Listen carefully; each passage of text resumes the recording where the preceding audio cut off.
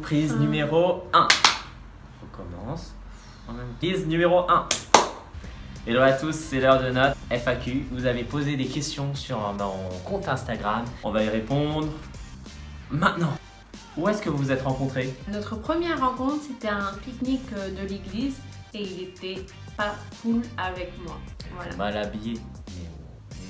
T'es sérieux? N'importe quoi chemise Toi tu viens de Madagascar, tu mettais les t-shirts euh, rose euh, fluo avec... euh, C'était le 1er août 2014, un vendredi soir au bois de Vincennes. Et en fait, euh, ce jour-là, j'avais pris un, un thé détox et euh, j'avais euh, la diarrhée.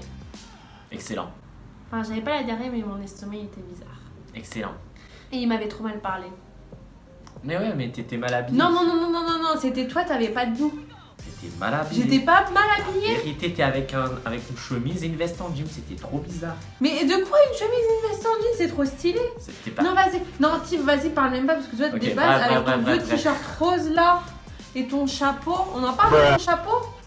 Il était bien mon chapeau d'ailleurs, je vais en reprendre un d'ailleurs. Je vais en mettre un de chapeau moi. Ouais. Ok, question 2. Où a été le premier bisou On va pas vous faire croire que ça a été un moment hyper romantique au bord d'une péniche avec la tour Eiffel qui, qui brille euh, derrière. Non, ça a été tout simplement fait euh, pendant le film Bob l'éponge au cinéma.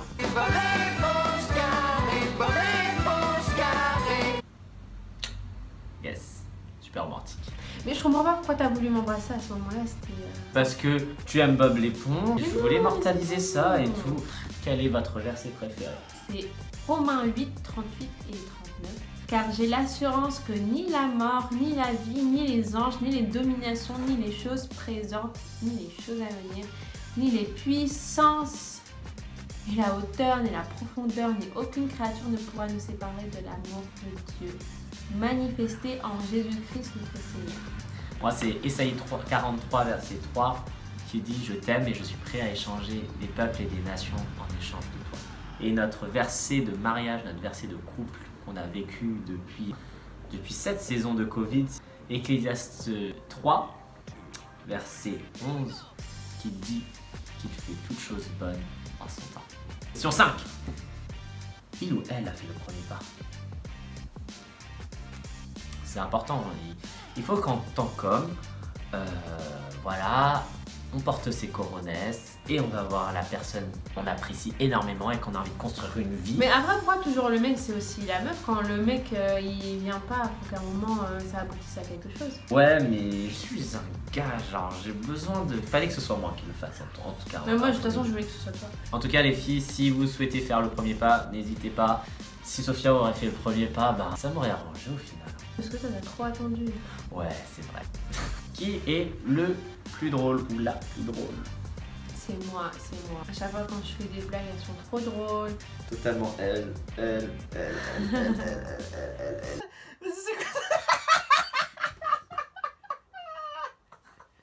Toujours moi qui propose des plats un peu chelous. Qui est le plus malaisant Qui rote le plus fort Ça peut faire trembler la part. Mais lui, limite, ses rots, ils sont trop mignons. C'est Ouais. des petits rots de bébé, alors que les miens, Oh, je, je rote comme un porc quand même. non. Tu pètes comme un porc. Ouais, désolé. Qui fait la vaisselle?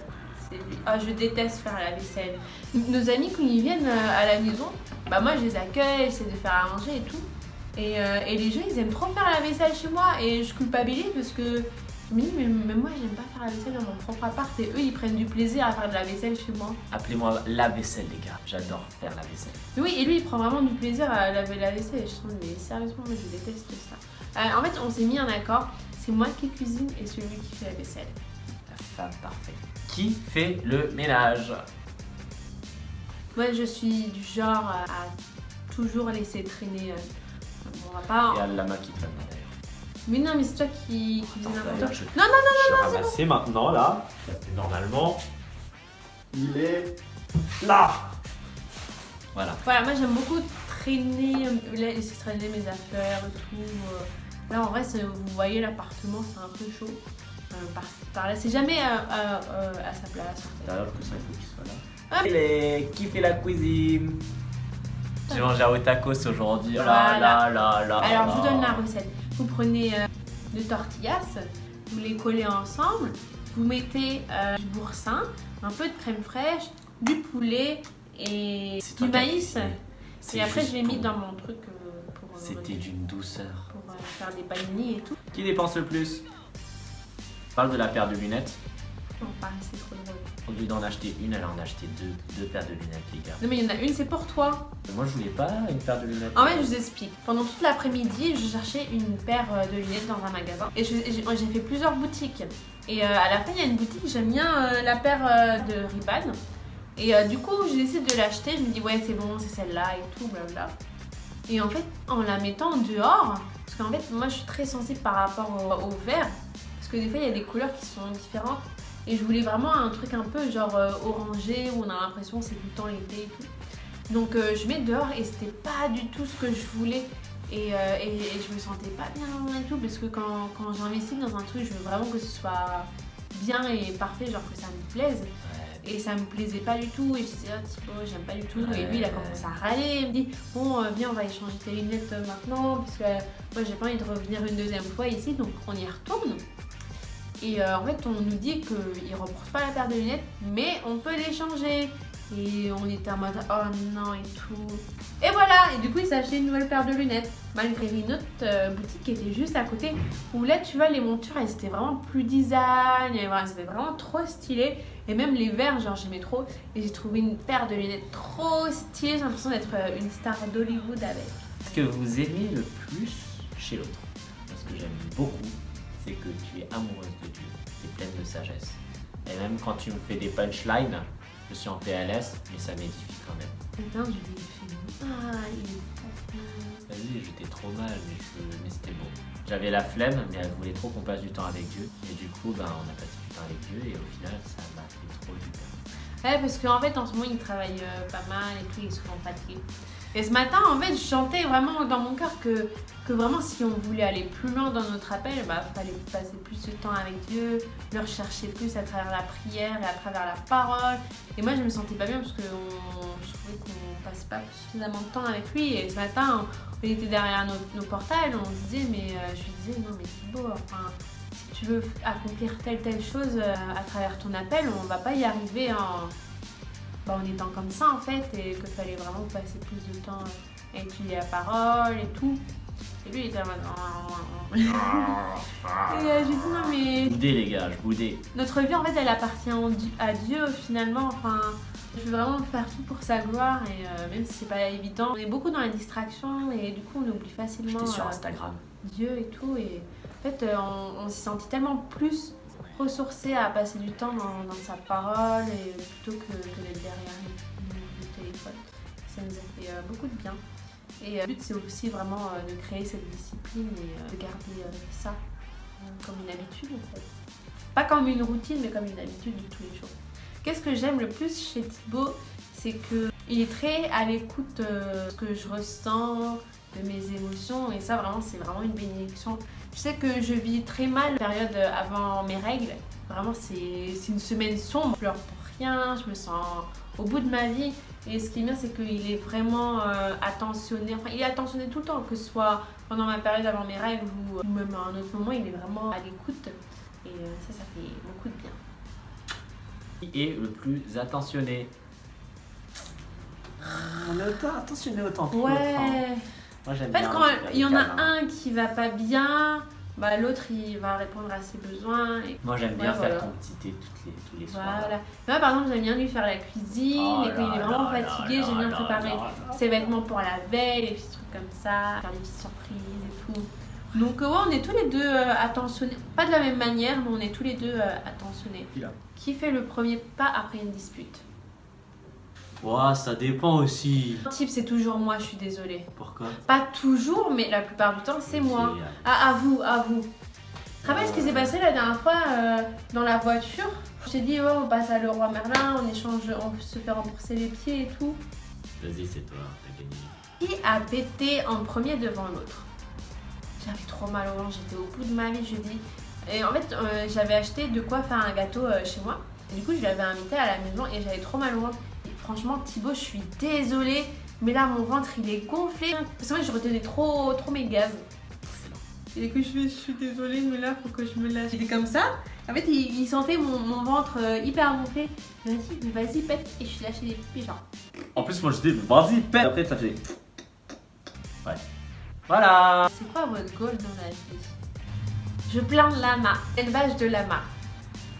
Moi, j'aimerais voir plein, plein, plein, plein de vies transformées dans Oui. Jésus et qu'on soit utilisés comme des instruments de vie. Surtout, bah, Sophia et moi, on a la dalle. On aimerait justement ramener plein, plein, plein, plein, plein, plein, plein, plein, plein de vies au ciel. Et que nous, on soit juste l'instrument pour cela. On soit des artisans de paix et euh, On est des ouvriers, on charbonne. on aime trop donner de l'amour autour de nous et parler euh, de Jésus. 5 clés pour un mariage réussi. Au centre, Toujours mettre Dieu au centre, franchement, c'est la base.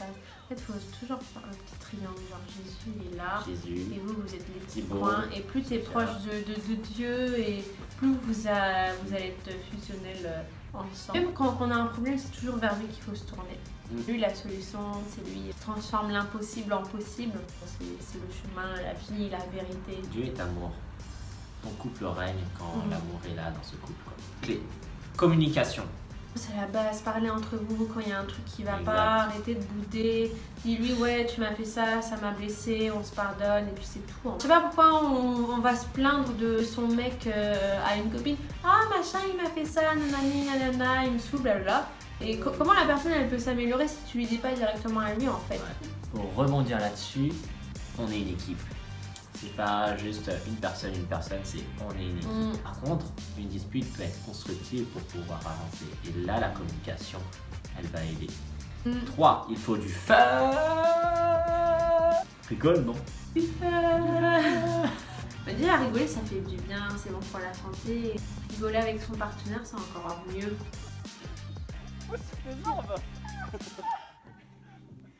Bah, J'aime pas quand on se dispute et je vais toujours essayer de, de faire en sorte de le faire rire et ça marche et euh, on oublie complètement bah, la dispute. Enfin, on n'oublie pas, on essaie de, de faire en sorte de savoir ce qui, ce qui n'allait pas à travers ces disputes mais euh, j'aime trop rigoler tout le temps.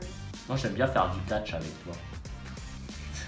Mais il y a une bagarre gentille, hein, genre de jamais comme ça. J'aime pas les guillis. J'aime pas les guillis. Arrête, arrête, j'aime pas les guillis. Tu veux qu'on se batte? 4. Moment de qualité. On est à PNY pour manger des burgers à la kiffer. Date trop stylé. Ouais. Plus tu passes du temps avec cette personne, plus tu apprends à la connaître et plus vous avez des moments, vous avez des moments fusionnels entre vous et bah, c'est important pour construire. À rêver, à mettre les choses à plat, réfléchir sur nos vies, réfléchir sur notre foyer. Pourquoi tu bailles? Mais attends, c'est un bail parce que pas parce que En tout cas, ouais. Moment de qualité, c'est important.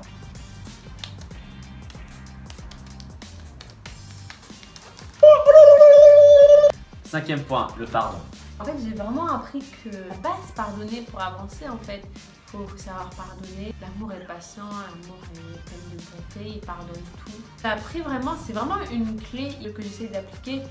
Mais c'est juste se dire que la personne elle m'aime et je douterai jamais de l'amour qu'il qu'il a pour moi. Et que des fois il peut faire des choses que ça peut me paraître blessant, je vais me sentir offensée. Mais la personne elle n'est pas parfaite, c'est pas Dieu. Et euh, voilà, c'est normal de, faire euh, des, erreurs. Et que quand la personne elle fait quelque chose, je me dis mais c'est pas grave, enfin je sais qu'elle-même elle a pas fait exprès, cette personne elle est pas contre moi, elle, marche avec moi. Et des fois on fait des choses, on peut se sentir mal et tout, mais il faut vraiment prendre du recul et se dire mais ok bah très grave, je vais pas perdre du temps à, à être focalisé sur ce problème alors que c'est juste un petit truc. Par exemple, bah, Thibaut il prend, il aime bien prendre ma nourriture dans le frigo alors qu'il a oublié de me demander et que moi j'ai plus rien à manger. Et euh, Il a pris son coca, la bouffe de sa mère. euh, c'est parce que bah, c'est le, plat de ma mère, tu vois, et lui il a tout pris. Mais je savais que je me disais c'est pas grave, il, il- a fait ça de manière maladroite et tout. Il a pas fait ça pour me blesser justement, et ça, ça te permet de prendre du recul pour, euh, pour pas être en mode ah mais il et tout.